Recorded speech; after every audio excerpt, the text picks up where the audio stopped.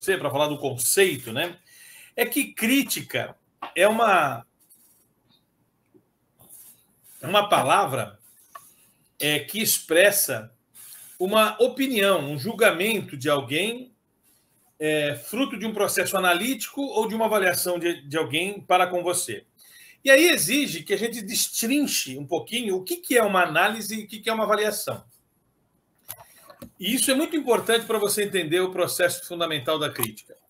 A análise, o que, é uma análise? A análise é quando eu é, é, é, observo alguma coisa a partir do meu modelo mental, do meu sistema de filtros, e a, e a conclusão que eu chego a partir dessa observação, ela é útil para mim. Eu não necessariamente compartilho esse resultado dessa observação com ninguém.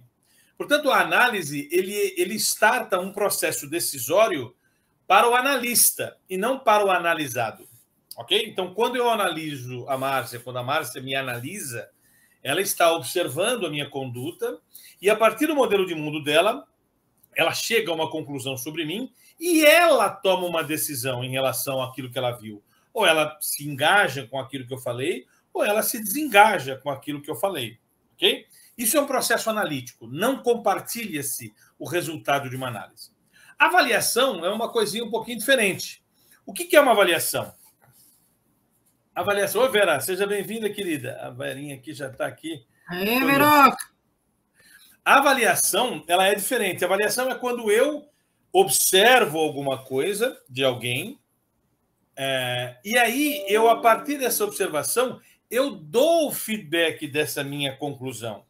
E o meu objetivo com essa avaliação é, a partir desse feedback, esse avaliado refletir e tomar uma decisão a partir daquilo que eu falei.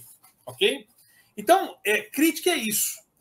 Acontece uma crítica quando há avaliação e quando há análise. Qual a diferença? Algumas são expostas e você as reconhece, outras não são expostas e você não as reconhece.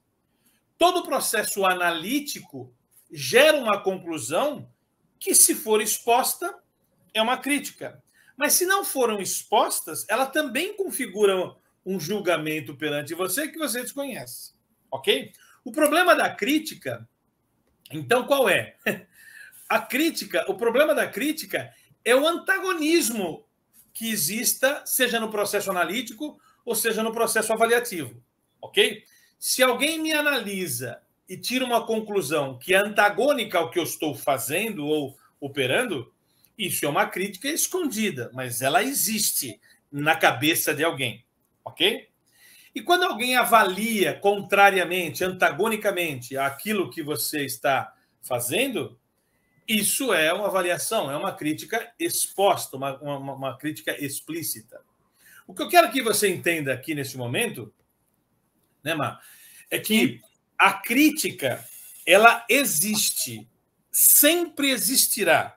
Eu falando aqui para vocês, quem está nos escutando ou quem nos escutará depois, vai fazer uma crítica daquilo que eu estou falando. Essa crítica, se for analítica, ela vai ficar armazenada com a pessoa, ok? Mas se ela for uma crítica avaliativa, essa, esse resultado interpretativo do que você achou esse julgamento interno, ela será exposta.